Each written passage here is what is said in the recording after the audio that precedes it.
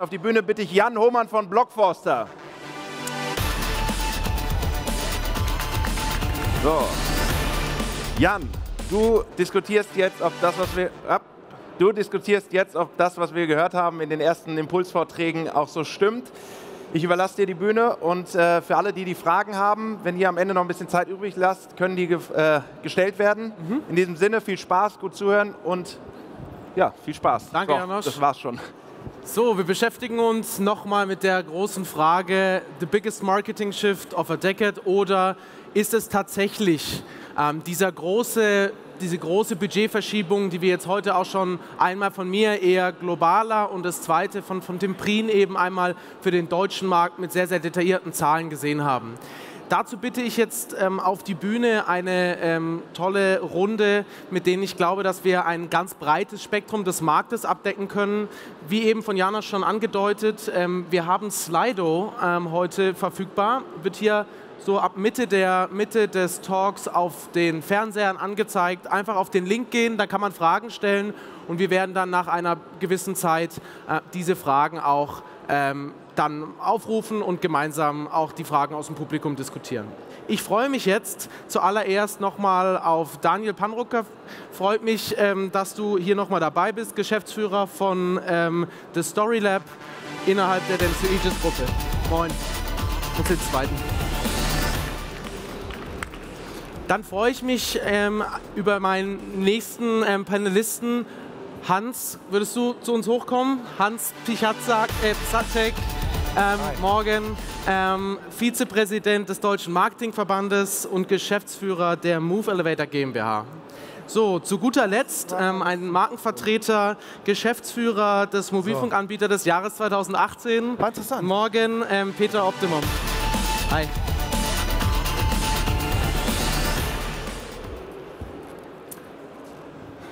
Sehr schön.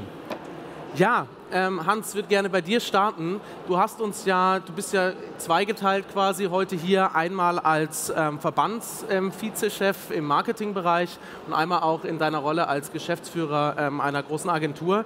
Die Frage, also wir hatten ja letztes Jahr auf dem Online-Marketing-Tag, hattet ihr mich eingeladen und gefragt, Jan, könntest du vielleicht ein Panel moderieren zum Thema Influencer-Marketing? Das war eines der Top-Panels, glaube ich, an dem Tag, ähm, was ich total beeindruckend fand und habe mich gefragt, wie passiert denn das innerhalb eines Verbandes, dass so ein Thema wie jetzt Influencer-Marketing überhaupt dann hochschwappt und ähm, dort an wirklich populärer Stelle Platz findet? Ja, also die Frage ist relativ einfach äh, beantwortet. Man muss das ja so sehen, wir als Verband, wir haben in Deutschland 14.000 Mitgliedsunternehmen, die halt im Thema Marketing sich an den Verband richten, wenn sie Fragen haben. Und äh, das Thema Influencer-Marketing kann man wirklich sagen, das interessiert im Moment alle, ähm, weil jeder sieht, dass sich die Mediennutzung verlagert. Die Leute lesen weniger Zeitungen, die machen weniger dieses. Und die unter 20-Jährigen sind ja im Moment, sagt man, drei Stunden pro Tag in den sozialen Netzwerken unterwegs. Und wenn ich als Marketingtreibender meine Zielgruppe erreichen möchte und merke, der Kanal funktioniert nicht mehr, der, der, der, und ich sehe, okay, die sind woanders, dann muss ich mir ja die Frage stellen, wie komme ich da rein? Und so kommen dann halt 14.000 Mitgliedsunternehmen an den Verband, also nicht alle, aber einige davon, und sagen, du, wir würden gerne was im Bereich Influencer machen. Äh, wie können wir das anstellen? Worauf müssten wir achten? Und dadurch wird das dann ein Thema für den Deutschen Marketingverband. Okay, vielleicht, ähm, bevor wir dann auch ähm, weitergehen, noch eine Nachfrage was ist denn so das Grundgefühl, die Grundstimmung von den Unternehmen? Ja, sagen die, wir möchten in einem speziellen Bereich irgendwie noch was lernen oder sagen die, wie kommen die auf euch zu, mit welcher Message? Also vorhin wurde der Satz schon mal gesagt in der Eröffnungsrede, ähm, die sagen, wir glauben, wir müssen da was machen, aber wir wissen nicht wie. Denn es gibt ja doch eine ganze Menge Unsicherheiten bei dem Thema. Und ähm, ich glaube, so die großen Player, Unilever und so weiter, die wissen, wie man sowas macht, aber der Mittelstand und vielleicht auch regionale oder lokale Unternehmen haben da mehr Fragezeichen als Antworten. Okay, super. Vielen Dank schon mal. Wir haben jetzt da, glaube ich, einen sehr, sehr schönen Marktüberblick, auch völlig un, ähm, ungeschliffen quasi, weil der Verband ja einfach dafür da ist, die allgemeinen Interessen abzubilden. Jetzt freue ich mich, ähm, dass du, Peter, heute bei uns bist. Und ähm, ja, ihr seid einer der, ihr seid der erfolgreichste Mobilfunkanbieter des letzten Jahres gewesen oder nee, des diesen, diesen Jahres gewesen und dort gekürt worden. Ihr habt euch aber ganz bewusst und das hast du mir in unserem Vorgespräch auch ähm, erzählt, hast du, habt ihr euch ganz bewusst entschieden, nicht First Mover zu sein, weil ihr darin die für euch optimale Strategie seht im Influencer-Marketing-Bereich. Kannst du uns dazu ein bisschen abholen? Ich finde es einen super spannenden Ansatz und es zeigt auch ähm, so den Weg eines Marktes, weil am Anfang werden viel Fehler gemacht, am Anfang ist viel Trial and Error und wenn man später dann smart und mit Nachdruck einsteigt, kann man vielleicht ähm, sehr, sehr gut abbiegen, ja? Ja, genau so ist es. Vielen Dank, Jan. Ähm, ihr habt ja gerade den Hans gehört, der darauf hinweist, natürlich gibt es ein großes Interesse und ähm, in jedem Fall ist es spannend und sinnvoll, sich mit Influencer-Marketing zu beschäftigen und den Chancen, die eine Marke hat, ähm, auch über äh, entsprechende Medien er erfolgreich zu sein. Wir sind äh, ein Mobilfunkanbieter, aber stehen auch für faires Preis-Leistungs-Verhältnis. Das heißt, äh, auch bei uns gibt es knappe Mittel, auch knappe Mediabudgets. Äh, und da wollen wir natürlich auch, ähm, was die Frage angeht, wie setzen wir Influencer-Marketing ein, möglichst smart äh, aktiv sein. Und das heißt eben Anfang, Anfängerfehler verhindern, äh, möglichst erstmal gezielt und klein anfangen, lernen und dann möglichst schnell auf Basis dessen für uns selber eigentlich das finden, was zu unserer Marke passt, was zu unserem Unternehmen passt. Und äh, ich denke, da gibt es sicherlich ein großes Maß an Eigeninitiative, dass das Unternehmen dann selber starten kann. Aber ähm, natürlich äh, spielt da auch eine gute, äh, eine gute Beratung eine Rolle und auch äh, das richtige Gefühl. Ist da irgendwie so eine Sache, wo du sagst, Mensch, das muss so ein Kanal auch liefern, bevor man da in die Vollen gehen kann und sich auch das tun möchte? Ist da irgendwie so eine Sache? Ja, wir, wir brauchen natürlich Vergleichbarkeit. Also Messbarkeit und Vergleichbarkeit ähm, spielen eine große Rolle ähm, im, im Mediamix und solange wir nicht genau den Erfolg unserer Kampagne oder auch der Kampagnenverlängerung durch äh, Influencer sehen können, ähm, können wir äh, das nicht äh, vergleichen und äh, benchmarken. Insofern äh, ist die, die eine Sache tatsächlich die Messbarkeit und eine nachvollziehbare äh, Kontrolle des Erfolgs der entsprechenden Kampagne. Ja, fragen wir doch gleich mal ähm, einen, der genau diese Frage wahrscheinlich sehr, sehr häufig beantworten muss. Ähm, Daniel, du hast ja, ähm, oder ihr habt ja in dem Konstrukt des Dentsu Aegis Netzwerkes als eine der größten Netzwerkagenturen weltweit, seid ihr mit der Storylab der zentrale Punkt und Anlaufpunkt für Influencer-Marketing in Deutschland. Und ähm, was ist denn, es ist spannend ja erstmal, Netzwerkagenturen haben, viele bilden gerade diesen Bereich aus. Ich glaube, ihr seid da extrem weit vorne und ähm, vielleicht kannst du uns zum Eingang ein bisschen beschreiben, ähm, welche Budgetverlagerungen euch quasi auch dazu ähm, verleitet haben, das wirklich als Einheit ähm, an den Start zu bringen und ähm, wie ihr Marken damit helft. Ja. Gerade auch hier angeschlossen. Ja. ja. Also zum einen muss ich sagen, dass Influencer-Marketing natürlich aus vielerlei Gesichtspunkten extrem interessant ist. Zum einen aus kommunikativer Sicht, um die Zielgruppen zu erreichen aber was wir natürlich auch sehen, ist, dass es immer mehr schlaue Marken gibt, die Influencer auch nutzen, um neue Produkte zu kreieren oder aber aus den Influencer Geschichten und Daten heraus sich zu überlegen, was sind die Trends von morgen, also was könnte, weil Influencer ja im Prinzip auch Trends vorgeben. Äh, das sind diese beiden Aspekte. Ich kann jetzt nicht für alle Marken sprechen, aber für die äh, Marken, die wir betreuen und die wir sehen, und das sind einige Großkonzerne dabei, wir sehen, äh, bisher was halt so Influencer-Marketing ist ähm, am Anfang sehr stark auf PR-Seite ähm, etabliert gewesen, teilweise auch in den Social-Media-Abteilungen. Dann merkt man auf Media, aus, aus der Media-Abteilung heraus, dass der Banner und so weiter, dass die ganzen Maßnahmen nicht mehr so funktionieren, wie man sich das wünscht. Und dann sieht man auf einmal die Effektivitätsmöglichkeiten oder die Optimierungsmöglichkeiten, die man über Influencer-Marketing als Kommunikationskanal hat.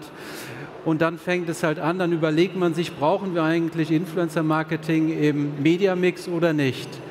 Und dann ist das ein systemisches äh, Problem oder auch eine Herausforderung. Es wird oftmals verglichen zwischen den ganz klassischen KPIs, also ich, was bringt mir eine TV-Reichweite im Vergleich zu Influencer-Marketing. Also ich persönlich und ich glaube auch meine Kollegen aus dem Team, wir sind jetzt nicht die Vertreter, dass wir sagen, wir, wir wollen eine Vergleichbarkeit schaffen. Wir brauchen die natürlich, um halt, ich sage jetzt, die Oldschool-Kunden dieser Welt, die nach Reichweite und GRP kalkulieren, äh, brauchen wir natürlich diese Ebene der Vergleichbarkeit, aber wir trainieren die Kunden schon dahin, dass wir sagen, es geht mehr um Cost per Engagement, es geht um die qualitativen äh, Merkmale, die ich durch Influencer-Marketing habe. Und sobald wir das geschafft haben, und der Kunde auch Vertrauen gefasst hat und er sieht, okay, ich habe eine Mediavergleichbarkeit, ich kann halt auch gucken, es funktioniert besser oder nicht so gut äh, als meine anderen Maßnahmen, dann sehen wir auch einen immer größer werdenden Budgetshift im Mediabereich. Aber noch ist es immer so, dass ähm, die Budgettöpfe zweigeteilt sind. Ähm, wenn wir an die großen Etats wollen, dann kommen die aus den Media-Etats. Wenn wir ähm, an inhaltliches Influencer-Marketing wollen, dann kommen die aus dem PR oder aus dem Marketing, Produktmarketing-Topf. Ich glaube, ein spannender Bereich, also oder ein spannender Punkt ist, wo ist das in Unternehmen aufgehängt? Also ist es PR? Wird es schon als Media gesehen? Wir sind, glaube ich, ja genau an der Kippe. Hans, hast du da irgendwie, habt ihr das diskutiert vielleicht auch intern? Oder vielleicht auch aus deiner Erfahrung als, als ähm, Geschäftsführer der Agentur. Wie wird, das von, wie wird das von Unternehmen umgesetzt? Was siehst du da im Markt in der Breite? Ist es PR, ist es Media? Wo stehen wir? Also unserer Erfahrung nach, jetzt spreche ich als Agenturmensch, ähm, ist das eigentlich in der Marketingabteilung verankert. Die Projekte, die wir begleitet haben, da war es im Marketing. Ähm, ich kann mir vorstellen, dass das in manchen Unternehmen auch in der Unternehmenskommunikation hängt. Ähm, ich habe es so nicht kennengelernt und ich, ich sehe es auch im Marketing, weil für mich ist es wirklich einfach einer der klassischen Marketingkanäle der Zukunft. Okay, das heißt also ganz klares Votum Richtung Marketing und, ähm, und, und vielleicht, wie man das aus dem Bloggerbereich eher kennt, noch von früher, dass es vielleicht dann doch schon Richtung PR, Pressearbeit, Journalismus geht. Da bewegen wir uns schon deutlich von weg Richtung, Richtung Marketingbudgets. Jan, vielleicht nochmal andersrum. Ja, also gerne. dieses Thema Influencer, das hat ja auch in Deutschland ein Problem, dieser Name. Ich höre oft den Spruch, früher war das wenigstens noch eine Krankheit und jetzt weiß man gar nicht mehr, was man damit machen soll. Deswegen ist das immer so was Diffuses, wo sich keiner was drunter vorstellen kann. Für mich ist das aber einfach ein Instrument, was es seit Jahrzehnten gibt, und zwar das äh, Thema Testimonials. Unternehmen haben schon immer Testimonials ausgesucht, äh, mit denen sie irgendwie kooperieren und so weiter. Und der Punkt ist doch einfach, ich habe zwei Kinder, die sind 11 und 14. Ähm, wenn wir Fernsehen gucken und da kommen irgendwelche Stars, meine Kinder kennen die überhaupt nicht. Bei uns, wir haben auch einen riesigen Fernseher zu Hause, 4K, der ist aber aus. Da wird Formel 1 geguckt, Tagesschau und mein Sohn spielt Fortnite und das war's. Fußball. Und dann, nee, bei uns nicht leider, tut mir leid. Ah, Jetzt bei der WM mache ich mal eine Ausnahme.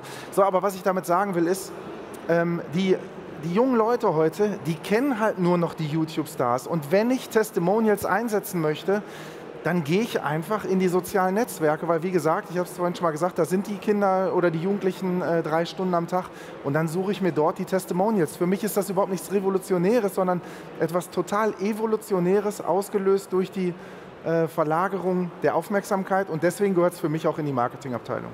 Okay. Vielleicht daran anschließend, ich weiß von euch, dass ihr ja auch mit Markenbotschaftern arbeitet. Ja, das war ja gerade das Angesprochene. Ähm, und wo seht ihr da denn den Unterschied zwischen Markenbotschaften und vielleicht, jetzt benutzen wir das Wort Influencer nochmal. Ich weiß nicht, wie gesagt, ich habe es vorhin schon gesagt, kann gut sein, dass wir nächstes Jahr nicht mehr über Influencer sprechen, sondern über einen anderen Begriff, der das beschreibt, was wir schon eine ganze Weile alle tun, mit sich leicht verändernden Ausprägungen. Aber wie, wie ist denn das, wie, wie nehmt ihr das denn wahr als jemand, der das wirklich dann auch ja betreibt und dafür auch Geld ausgibt? Ja, das ist äh, spannend, was du gerade gesagt hast, Hans, denn wir machen tatsächlich einen, noch einen bewussten Unterschied zwischen Markenbotschaftern einerseits und Influencern. Ähm, für, als Markenbotschafter verstehen wir Persönlichkeiten, äh, Menschen äh, des öffentlichen Lebens, die nicht zwingend immer äh, an Reichweite gemessen werden, sondern die in ihrer Persönlichkeit äh, für Werte stehen, äh, die wir als äh, passend für unsere Marke, in dem Fall Kongstar, sehen. Und wir möchten natürlich, dass es da einen guten Markenfit gibt.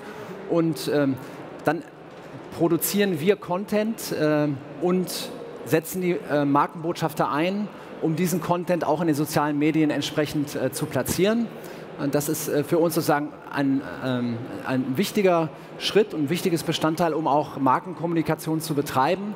Ähm, also Influencer im jetzigen Stadium äh, sind natürlich äh, Menschen, die einfach ähm, interessant sind, auch eigenen Content produzieren und diesen Content dann ähm, entsprechend äh, über ihre Kanäle äh, platzieren. Und wenn wir da als, äh, als Kongstar eine Rolle spielen wollen, ähm, dann nutzen wir natürlich deren ähm, Plattform und deren Content, äh, um unsere Kampagnen zu verlängern, um da äh, auch spielerisch und auch ansonsten da ähm, ähm einfach äh, in, in, Interaktion zu treten. Aber das sind für uns keine Testimonials, sondern ähm, sozusagen Influencer, die wir gerne auch zusammen mit unseren Produkten oder eben unserer Marke äh, etwas weniger mit den Markenbotschaften in Verbindung bringen. du dazu gleich nochmal oder ist klar soweit? Ähm, nee, ich finde die Unterscheidung gut und äh, mit Sicherheit ähm, gibt es auch verschiedene Funktionen, verschiedene Rollen, wie man Influencer-Marketing machen kann. Mir geht es aber eher um das, äh, bei Testimonial jetzt um die Idee, dass man halt Köpfe einsetzt, die die Menschen da draußen kennen und die aus sich heraus eine Reichweite generieren. Ja, klar. Vielleicht mal weitergegeben zu dir, Daniel. Ähm, wenn, du, wenn du dir jetzt anschaust, so die letzten Jahre hat sich ja schon ein bisschen was getan. Die ersten Unternehmen sind auch wirklich aus der Testphase raus, glaube ich, und geben, gehen auch in die Vollen, was Influencer-Marketing angeht. Wo waren denn vielleicht auch so in den letzten zwei, drei Jahren die Blocker, die bei denen vielleicht gelöst wurden, sodass die sagen, Mensch, wir trauen uns, wir wollen, wir sehen das ähm, und geben da jetzt quasi auch mal deutlich signifikantes Budget rein. Also ich mag ungern in Prozent reden, aber ich ja. mache das einfach mal, um so ein Bild zu haben. Also ich würde sagen, dass wir nicht mal bei 10 Prozent der Möglichkeiten angelangt sind, was die Marketing-Spendings betrifft äh, im Bereich Talents oder Influencer-Marketing. Und ähm, ich fand aber die Diskussion ganz spannend. Äh, ein Influencer an sich ist ja nicht nur die Reichweite, sondern ein Influencer an sich vereint ja im Prinzip RTL, Madonna, Amazon und wen haben wir noch? John Bon Jovi in einer Person. Also er bringt äh, das Gesicht mit, er bringt die Abverkaufsmöglichkeiten mit. Also insofern ist es auch für die Performance-Abteilung interessant. Ich denke da zum Beispiel über Affiliate Marketing, im Bereich Influencer Marketing. Man, solche Programme gibt es mittlerweile auch, bis hin zu äh, Produktkreation. Und insofern gibt es da noch so ein bisschen einen Konflikt, aber ich glaube, der wird sich dann lösen, wenn man halt ähm, die ersten Sachen anfängt umzusetzen. Und im Moment wird das halt in einzelnen Schubladen gemacht. Das ist auch ganz gut so. Influencer als Mediaersatz äh, wird dann über die Schiene gemacht, Influencer als Produktkreationsersatz über die Schiene, Influencer Relations eh auf PR-Seite. Und irgendwann, glaube ich, wird sich das äh, zusammenfinden, wenn man halt äh, erkannt hat, dass das auch tatsächlich gut funktioniert. Vielleicht nochmal zurück auf die Blocker. Ich finde es ganz spannend, weil wir sehen diese, diese Bewegung im Markt. Tim Prim hat gerade gesagt, zwei, eine Milliarde Marktvolumen nur im Dachraum in den nächsten zwei Jahren wird sich der entwickeln, dann werden wir an 2020 werden wir bei einer Milliarde sein. Vielleicht habt ihr darüber diskutiert, was die vielleicht auch Ängste sind, die da noch loszu, loszulösen sind oder wo vielleicht auch Technologie oder ähm, ähnliches oder unter Education helfen kann, um das Ganze weiter nach vorne zu bringen. Du meinst Ängste auf Seiten der Unternehmen? Genau. Ja. Oder vielleicht gibt es sie auch gar nicht. Ja, vielleicht. Doch, doch, die gibt es auf jeden Fall. Also ich glaube, was wirklich die größte Unsicherheit am Ende auslöst, ist bei den Unternehmen, die es noch nicht machen, die Frage, was ist denn überhaupt ähm, Influencer-Marketing? Reicht das, äh, wenn irgendein YouTuber äh, eine Folge seines Podcasts macht und im Hintergrund steht meine Lampe? Im Hintergrund ist das dann schon Influencer-Marketing? Der, der Geld dafür bezahlt hat, dass die Lampe da im Hintergrund stand, der wird sagen, ja, äh, jemand anders, der vielleicht einen besonders guten Case gemacht hat, wie deine California Almonds, sagt, nee, das ist für mich überhaupt kein Influencer-Marketing. Äh, das ist vielleicht irgendein vorsichtiger Versuch. Und ich glaube, was die Leute da draußen brauchen, ist eigentlich wirklich Hilfestellung. Was ist gutes Influencer-Marketing? Und ich glaube, da leistet ihr auch gute Arbeit, indem ihr halt erfolgreiche Cases zeigt und zeigt, guck mal hier, das sind die Möglichkeiten. Wir haben die Erfolge gemessen, das hat nachweisbar ähm, irgendwie mehr Image, mehr Abverkauf, was auch immer gebracht. Also ich glaube, die Unsicherheit da draußen, der muss begegnet werden mit erfolgreichen Cases, damit die Leute lernen, wie man es gut und richtig macht. Wenn wir jetzt weitergehen mal in Richtung des Budgets ähm, und ähm, ähm bei euch uns das anschauen, Peter, wie, wie ist es denn? Wird, wird bei euch ein neuer Budgettopf geschaffen und ihr sagt, okay, jetzt Influencer-Marketing ja, kommt zu den anderen Kanälen dazu oder kannibalisiert es auch was anderes bei euch? Wie setzt ihr das auf? Ja, wir sind, wir sind ja ein äh, mittelständisches Unternehmen. Insofern haben wir so eine Brand- and Comms-Abteilung mit einer Media-Budget. Ähm, und natürlich äh, reden wir darüber, äh, wie wir dieses Budget in Summe ähm, ausgeben können.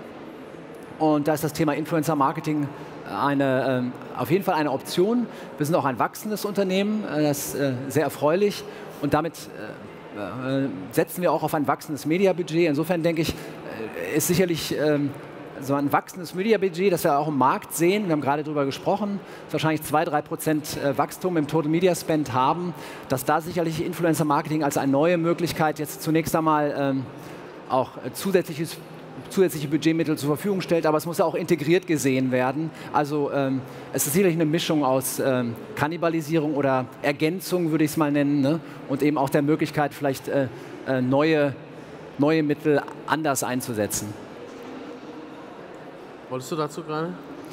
Ja, ich habe jetzt eben darüber nachgedacht. Ich glaube auch, dass es ein äh, systemisches Problem in der Branche ist, weil im Prinzip sind die, die Budgets, die große Kunden in Medien investiert haben, immer auf so virtuellen äh, Ressourcen passiert. Also bei RTL oder auf Online-Plattformen steht ja das Werbemittel im Prinzip unbegrenzt zur Verfügung. Und somit entsteht halt auch ein Geschäftsmodell oder auch ein Rabattmodell in Richtung Kunden, weil, ähm, was halt im Influencer-Bereich nur beschränkt möglich ist, weil die Ressource dahinter, da muss ja eine Produktion stattfinden. Der Influencer produziert etwas, der braucht dafür eine, eine, eine Aufwandsgage und ähm, ich glaube, es wird nie so sein, dass jetzt Influencer-Marketing, ich sage jetzt, die Möglichkeiten des TV-Volumens äh, oder der, des Online-Volumens komplett ersetzen. Aber ähm, ich glaube, dafür hat Influencer-Marketing äh, die Möglichkeit, ganz, ganz viele Budgettöpfe äh, parallel anzuzapfen und halt prozentual gesehen den Mediatopf ähm, ja, etwas mehr zu erobern. In Zahlen kann ich das jetzt nicht ausdrücken, aber ich glaube, die Tendenz ist klar erkennbar. Vielleicht nochmal aus deiner Sicht, Hans, was ist denn, äh, was, wenn jetzt jemand zu euch kommt, ähm, was würdet ihr denn empfehlen auch? Wie setzt man das Ganze auf? Sollte ein Unternehmen das Inhouse betreiben? Ähm, geht man zu einer Agentur? Nimmt man sich einen Technologieanbieter? Was, was wäre denn so euer Ansatz? Oder wie würdet ihr fragen? Ja? Also da ich ja nicht nur Vizepräsident des Deutschen genau. Marketingverbandes, sondern auch Agenturgeschäftsführer bin, würde ich natürlich immer sagen, gehen Sie zu einer Agentur. Ja. Aber jetzt mal vom Spaß abgesehen, ich glaube wirklich, dass man zu einer Agentur gehen sollte, denn äh, was mache ich, wenn ich in eine fremde Stadt komme und ich kenne mich da überhaupt nicht aus? Dann besorge ich mir Informationen von jemandem, der sich da auskennt. Sei es ein Reiseführer in Person, in gedruckter Form. Ich suche mir einen Lotsen. Und ich glaube, dass wirklich eine Agentur, idealerweise eine, die schon gute Cases äh, produziert hat, ähm, ein optimaler Lotse sein kann, der mich durch diesen Dschungel führt. Also deswegen denke ich auf jeden Fall, als Unternehmen sollte man sich eine Agentur oder so jemand wie Blockfoster ähm, holen, der einem da hilft. Und ich glaube, die größte Aufgabe für ein Unternehmen, das Influencer-Marketing machen möchte, ist wirklich die Influencer zu finden, die zu einem passen. Denn ähm, das ist überhaupt im Marketing so, ne? immer zu gucken, wer ist überhaupt meine Zielgruppe und wo erreiche ich die. Und das gilt natürlich auch im Influencer-Marketing. Und um das leisten zu können, muss ich einfach wissen, wen es da draußen gibt, welche Inhalte der bedient und bei welchen Themen er Credibility besitzt. Also irgendwie Zugang, ähm, die dann finden, ähm, Authentizität mit der Marke haben. Vielleicht noch einen Schritt weiter. Und wie seht ihr das denn, Peter, im, im Sinne von, wer, wer plant das Ganze strategisch? Wer kümmert sich um welchen Part dieser Wertschöpfungskette? Ähm, wir haben auch viel über Bepreisung schon diskutiert von Influencern. Wie, wie, wie, seht ihr das denn eingeordnet, auch mit den Spielern am Markt? Was wollt ihr auch intern behalten? Wie, wie wollt ihr damit umgehen? Habt ihr euch dazu schon eine Strategie überlegt? Ja, also ich denke, die Strategie ist auch abhängig von den Ressourcen, äh, die dir zur Verfügung stehen in-house. Äh, wie gesagt, als mittelständisches Unternehmen ähm, ist man natürlich nur begrenzt, äh, auch in den Möglichkeiten, auch äh, ähm, Mitarbeiter spezifisch mit Themen beschäftigen zu lassen. Das heißt also, natürlich planen wir entsprechende Kampagnen für unsere ähm, Produkte, auch für unsere Markenkommunikation und im Kontext dessen schauen wir uns an, welche Möglichkeiten bestehen im, im Zusammenhang mit Influencer-Marketing und da gibt es äh, sicherlich äh, ein, zwei Spezialisten im Haus, äh, die sich also diesem Thema dann eben auch inhaltlich immer mehr nähern, aber das immer, äh, jetzt in unserem Fall, ähm, zusammen mit Agenturen oder den Dienstleistern, denen wir vertrauen. Und auch da, ich denke mal, das Vertrauen äh, verlängert sich ja zu den Agenturen, dass man ein partnerschaftliches Miteinander hat und dann eben wiederum ähm, ein Stück der Auswahl also, ne, äh, und auch der Kontrolle, äh, der Erfolgskontrolle über die Partner und Dienstleister, mit denen man zusammenarbeitet, ähm, gemeinsam äh, erreicht. Jetzt haben wir vielleicht, Daniel, du bist ja wirklich sehr, sehr vorne am Markt. Ich glaube, das Erste, was man immer, und das, ich kenne das auch aus vielen Kundengesprächen, ich glaube, das Erste, was sicherzustellen ist im Influencer-Marketing, ist die, die Passung zwischen der Marke und dem Influencer. Die Frage mit Ja beantworten, kann diese Person, dieser Influencer, die Marke oder die Marke auch den Influencer, können die authentisch miteinander arbeiten? Geht das natürlich so. Wenn wir da einen Haken dran machen, was ist denn dann der nächste Schritt? Welche Fragen stellen sich und welche Fragen müssen wir lösen? Weil ich habe das Gefühl im Markt, den ersten Schritt, da sind wir gerade ganz gut dran. Die Marken fangen sehr, sehr gut an zu verstehen und haben auch eine klare Vorstellung, weil sie das ja auch von früher aus den Testimonial-Bereichen schon kennen, quasi so eine, so eine Liste im Kopf haben, okay, diese Kriterien müssen erfüllt sein, dass es zu meiner Marke passt. Aber was kommt danach? Wie geht man mit den, mit den Beziehungen um? Ähm, wie verhandelt man Honorare? wie muss man, wie muss man sich da ähm, das deiner Meinung nach in Zukunft vorstellen, wenn man das richtig groß aufgleisen will? Also auch hier nur meine Erfahrung. Also ja. viele Kunden, die halt in diesen Bereich einsteigen, ob das direkt ist oder über die Agentur, fangen erstmal mit einer Excel-Tabelle an und mit ein paar ja, Word-Dateien, wo sie die Influencer reinschreiben ich finde es halt sinnvoll, auch vor dem Hintergrund der neuen Datenschutzverordnungen, dass man halt sagt, ähm, lass uns das Ganze systemisch ähm, einpflegen. Und ähm, es geht ja nicht nur darum, dass man Influencer als reine Kommunikationsinstrument sieht, sondern es ist ja gleichzeitig auch ein MAFO-Tool. Der Influencer ist Konsument und, ja. Ähm, wie sagt man, und Sender in einem. Das heißt, man kann auch aus ihm heraus lesen, also für Produktgestaltungen oder Marketingzwecke. Und ich finde es halt sinnvoll, wenn man zuerst auf ein System guckt, wo man diese Influencer reingibt und über dieses System halt auch die Beziehung zum äh, Influencer managt von wem auch immer die sind. Ähm, selber programmieren würde ich das wahrscheinlich nicht, aber da gibt es äh, mit Sicherheit den einen oder anderen Anbieter, der halt auch dieses ganze Ding managen kann, damit man weiß, äh, hat der für Wettbewerbsmarken gearbeitet oder nicht, damit man auch die ganzen Kennzahlen zu den Influencern hat. Das finde ich persönlich sehr wichtig. Und auch wichtig finde ich, wenn eine Marke keinen Influencer-Marketing-Manager hat, weil das ja im Moment so auf verschiedenen Töpfen aufgeteilt ist, Marketing, PR, Werbung, würde ich auf jeden Fall mit internen Trainings anfangen. Das können Agenturen machen, da gibt es mit Sicherheit aber auch noch andere. Und ähm, also ich finde alleine, dass man sich damit beschäftigt, schon ähm, ein sehr wichtiger Schritt. Und ich würde immer damit anfangen, das erstmal systemisch, also in eine Plattform zu gießen und zu gucken, dass man nicht mit Excel-Tabellen und so weiter arbeitet. Ja, auch nach der DSGVO ganz wichtig, ja, wie du eingangs ja, genau. gesagt hast. Ja. Ähm, sehr schön. Ähm, wenn, wenn du dir jetzt was wünschen dürftest vom Markt, Peter, was sich sofort ändert, ja, wenn du quasi einen Wunsch frei hättest, ähm, wo du sagst, Mensch, wenn das im Influencer-Marketing da wäre, dann wäre der ganze Markt für uns deutlich sortierter noch, ähm, deutlich attraktiver auch. Was wären das?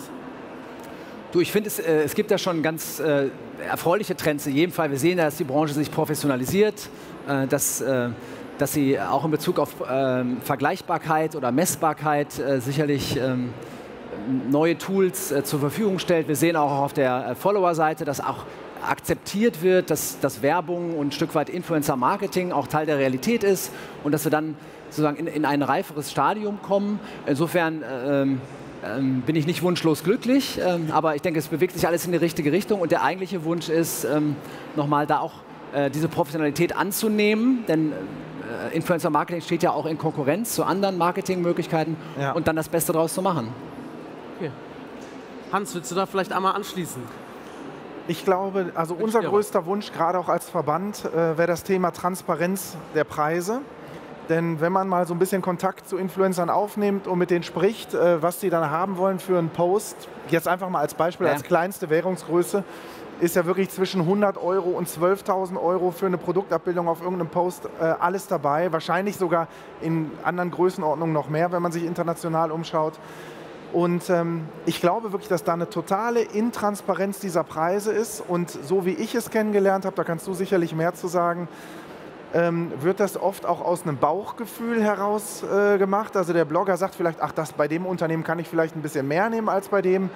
Und äh, das Unternehmen denkt vielleicht, Mensch, der Blogger ist mir ein bisschen sympathischer als ein anderer, deswegen zahle ich auch mehr.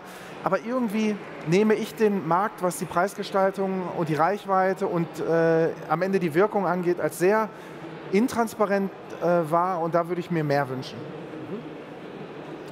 Willst du dich da noch anschließen?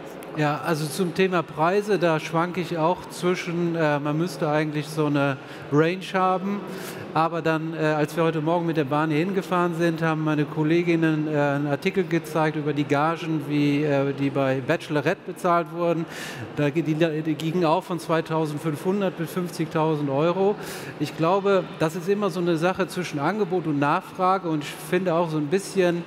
Ähm, Spannung sollte da auch drin sein.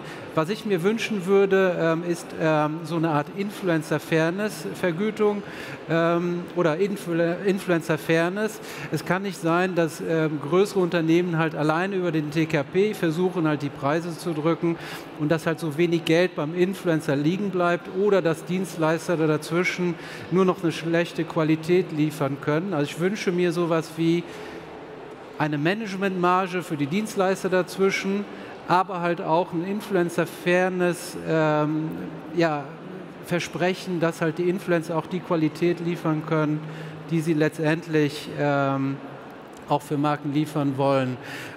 Ob man da feste Preisstrukturen für braucht, also das schwanke ich manchmal zwischen, ja, braucht man, aber manchmal denke ich, vielleicht ist es auch gut, dass man die nicht hat ich will mich da nicht so festlegen heute. Mhm. Also keine Preisstruktur im Sinne von fester Preisliste, die für alle gilt, aber einfach mehr Transparenz ja. und Nachvollziehbarkeit. Also ich glaube, das ist ein wichtiges Thema. Wir sind jetzt sehr auf der Markenseite auch unterwegs. Ähm, wir haben ja heute, ähm, glaube ich, mindestens 60 Prozent der Panels sind auch auf der Influencer-Seite unterwegs. Und ich glaube, dieses Transparenzthema ist auch auf beiden Seiten.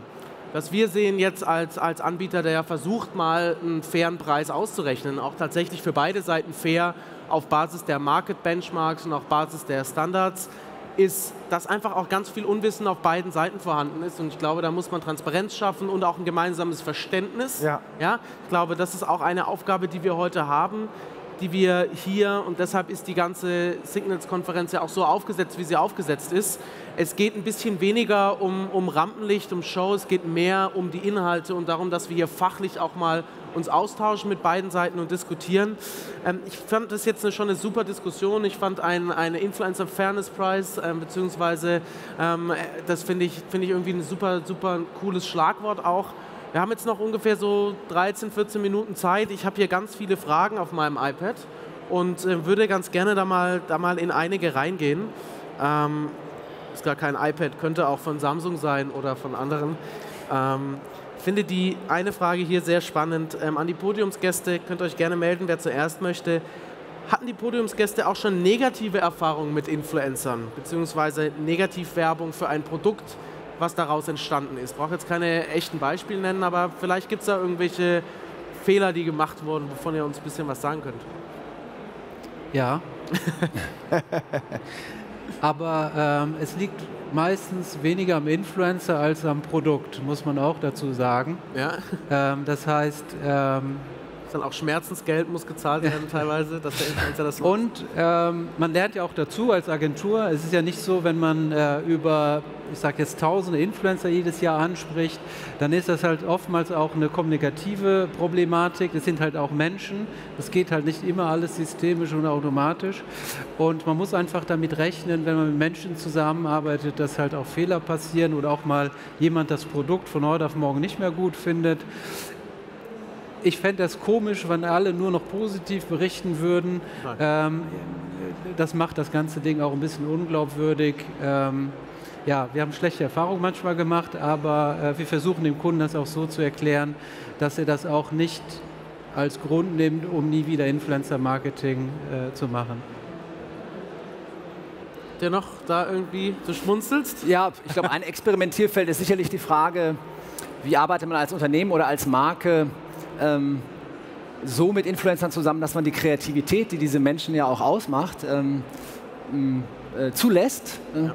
ähm, einerseits, aber andererseits eben auch als, als äh, Marke sich wohlfühlt und zu sagen, ähm, und, und, und ich, es gibt bestimmte Vorgaben, ähm, ähm, und bitte äh, achte auf diese, also dass das Briefing stimmt. Ne? Und das ist ja was anderes, als wenn man einen Werbespot produziert. Da hat man natürlich komplette Kontrolle, ist in der Lage, äh, das sozusagen äh, auch, auch wirklich bis zum Ende zu kontrollieren oder äh, auch zu verändern. Und das hast du natürlich in diesem Medium nicht. Und das ist auch gut so, das macht die Sache ja auch authentischer. Ja. Ne?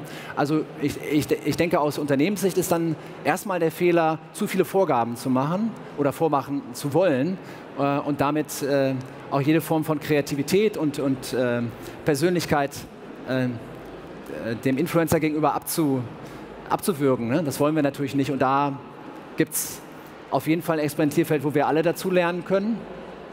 Ähm, das würde mir als erstes einfallen. Ich weiß nicht, Hans, aus deiner Sicht? Peter, du sprichst mir total aus dem Herzen, wirklich, weil ähm, als Agenturmensch kann ich nur sagen, für Agenturen gibt es nichts Schlimmeres, als wenn der Kunde eigentlich schon mit einer fertigen Vorstellung kommt und genau das durchgesetzt haben will und eigentlich die Expertise, die Kreativität der Agentur unterbindet. Und ich glaube, genau das passiert oft im Influencer-Markt. Man sagt eigentlich dem Influencer, was er zu tun hat.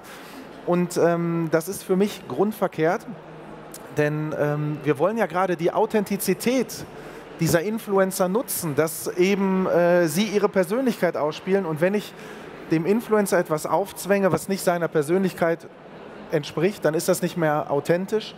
Und das merkt natürlich auch der Nutzer da draußen. Und insofern ähm, mache ich damit mehr kaputt, äh, als ich mir eigentlich selber helfe. Deswegen glaube ich auch, man muss die Kreativität der Influencer zulassen und muss da auch ein bisschen Risiko eingehen und dafür vielleicht Vertrauen äh, aufbauen, was du vorhin auch gesagt hast.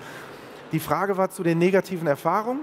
Die haben wir nicht gemacht, äh, muss ich ganz klar sagen. Ich finde es so ein bisschen witzig manchmal, wenn man dann mit den Influencern zu tun hat, äh, wie breit dann auch das Spektrum an Persönlichkeiten ist. Das sind ja in der Regel sehr junge Leute, die in jungen Jahren viel erreicht haben.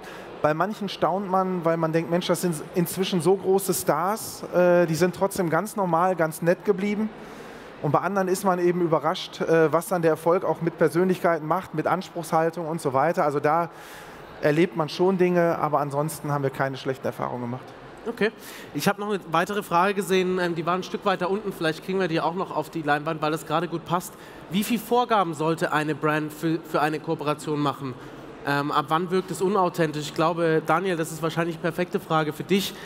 Wir haben es gerade schon angesprochen. Freiheitsgrade für den Influencer gegenüber ähm, der, ähm, dem Werbewillen ähm, der Marke. Wo und wie grenzen wir da am besten ab? Naja, ich glaube, also ohne Vorgaben zu arbeiten wäre für uns, also für unser Team, äh, glaube ich, sehr schwierig. Wir, wir brauchen irgendeine Eingrenzung. Äh, meistens leitet sich das aus den Marken, äh, Marketingzielen ab, die der Kunde vorgibt. Da gibt es sowas wie Zeitraum, es gibt geografische Eingrenzungen, thematische Eingrenzungen und er hat natürlich halt auch als Marke einen gewissen Wunsch. Ähm, wie sein Produkt oder sein, seine Dienstleistung, die er anzubieten hat, äh, kommuniziert wird. Das heißt nicht, dass er unbedingt den Content immer freigeben will. Je größer der Konzern, umso klarer die Vorgaben, würde ich jetzt mal sagen. Äh, das geht sogar so klar davor, dass man bis zu fünf Abnahmerunden hat. Ähm, und dann ist es im Prinzip halt ein Werbes ein Werbespot oder ein, ein, ein, Werbeinhalt, der nur über einen Influencer ausgestrahlt wird. Ähm, wir haben, ich kenne die jetzt nicht alle auswendig, aber für viele Kampagnen haben wir so eine Art ähm, ja, Basisvorgaben, die wir brauchen und dann hängt es vom Kunden und von der Situation ab, ob man dann noch tiefer geht.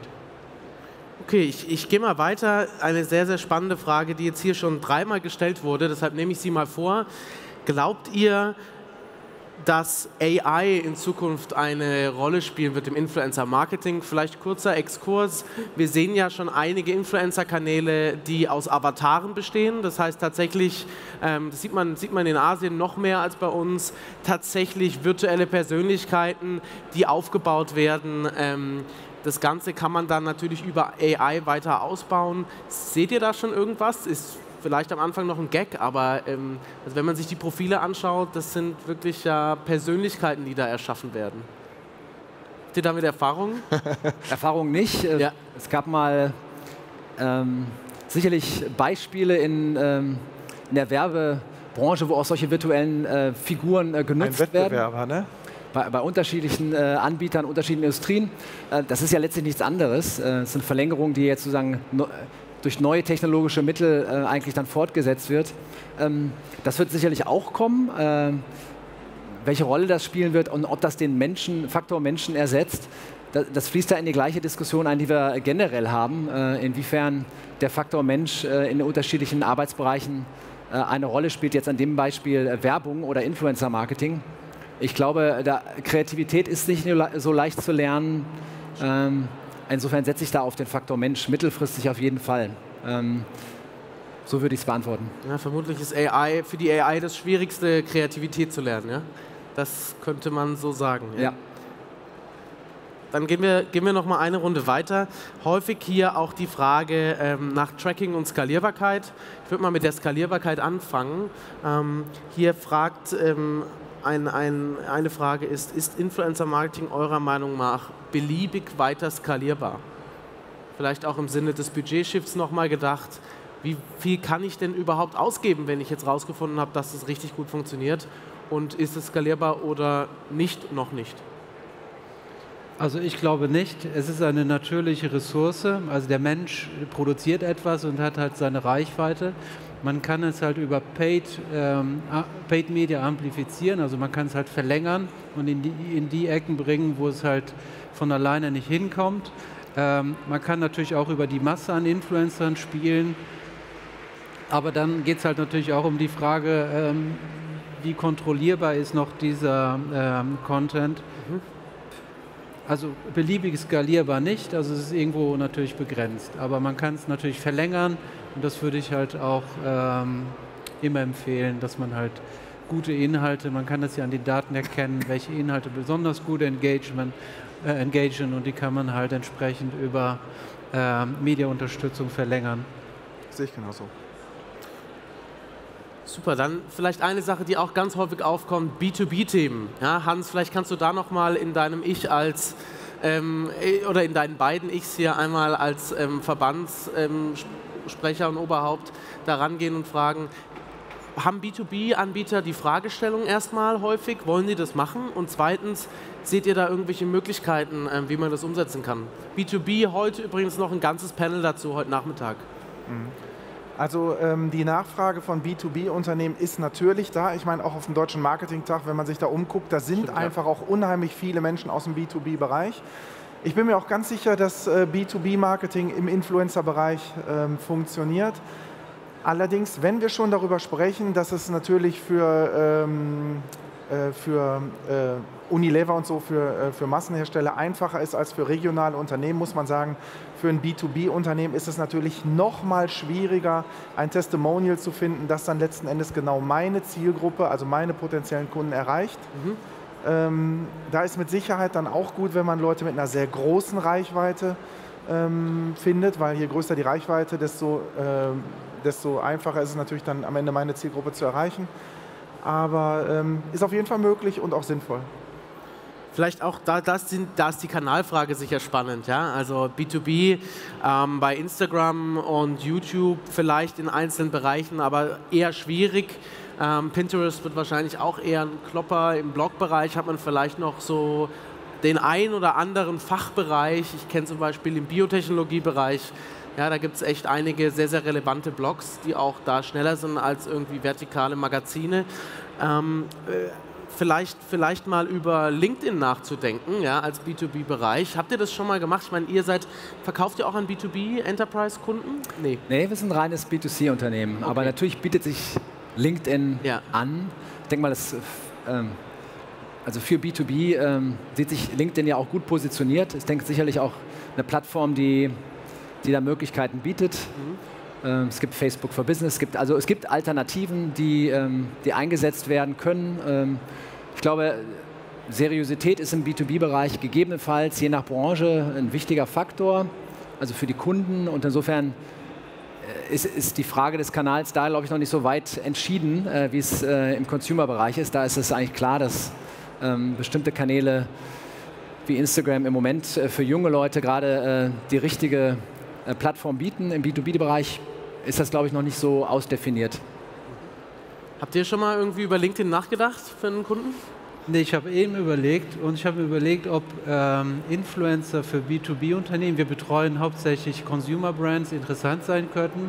Ich glaube, für B2B-Unternehmen wäre es halt vielleicht sinnvoller, die eigenen Mitarbeiter zu Influencern auszubilden oder vielleicht, äh, wie wir das auch gemacht haben, man kann auch den einen oder anderen Influencer einstellen im Unternehmen. Ähm, oder und gucken, wie man voneinander lernt, ähm, weil im Prinzip äh, steckt ja, äh, stecken ja die besten Influencer im Unternehmen selber, also gerade im B2B-Bereich würde ich sowas eher empfehlen, also ohne dass wir diese Kundenzielgruppe betreuen.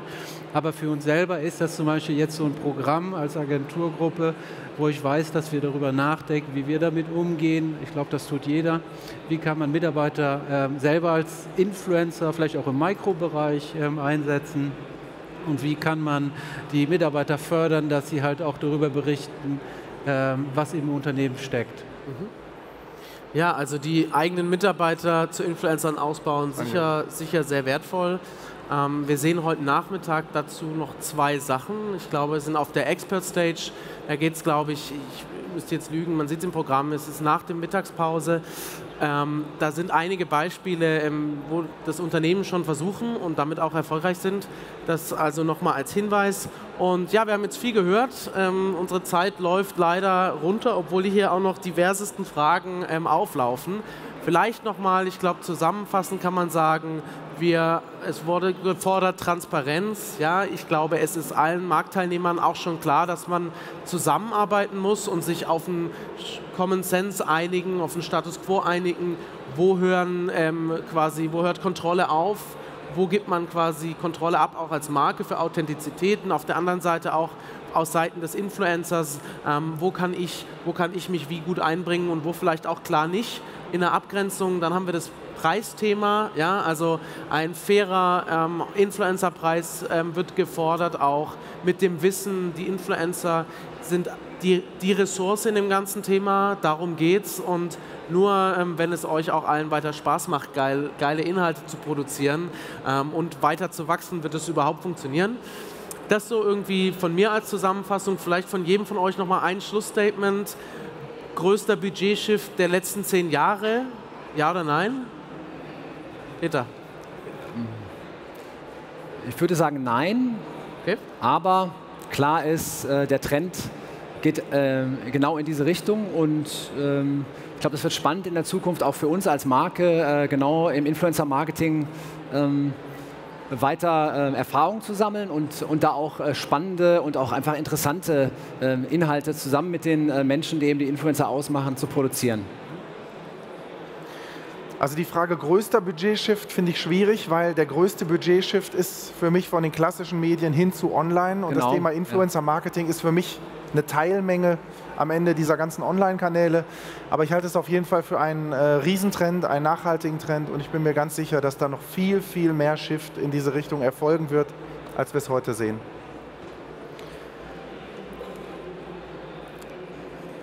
die Frage ist immer im Vergleich zu was. Äh, ich würde sagen, größter Budgetshift innerhalb der bestehenden äh, Media-Budgets ähm, würde ich sagen, ja, mit einem kleinen Sternchentext. Ähm, aber ähm, es ist gerade bei großen Marken noch äh, sehr viel Aufklärungsarbeit notwendig und man hat natürlich auch eine sehr starke ähm, Gegenwettbewerb. Es ist natürlich nicht so, dass die TV- und Online-Kollegen sich freuen, wenn denen Geld weggenommen wird. Und ähm, da braucht man natürlich auch Geschäftsmodelle und den großen ähm, Einkauf- oder Media-Einkaufsabteilungen entgegenzukommen. Und ich glaube, an dem Punkt soll man darüber nachdenken, wie kann man Influencer-Marketing auch als Mediawährung attraktiv machen? Wie kann man, über, damit man über größere Volumen nachdenkt? Ähm, bei uns innerhalb der Gruppe ist es im Vergleich zu, zu, anderen Disziplinen, die halt auch diesem Spezialbereich kommen, schon eine der größten, wenn nicht der größte Budgetshift äh, der letzten Jahre gewesen. Ich nehme mal Programmatic und so weiter raus, weil man könnte Influencer-Marketing auch programmatisch machen. Das ist aber eine andere Geschichte. Ähm, ja, Super, vielen Dank für diese abschließenden Statements. Und ähm, ja, ich glaube, wir haben viel zu tun. Ja, diskutieren, ähm, weiter in das Thema Investieren auch zusammen. Und ähm, ich glaube, der Weg ist ganz klar und der geht offensichtlich ähm, steil nach oben. Vielen Dank und viel Spaß noch.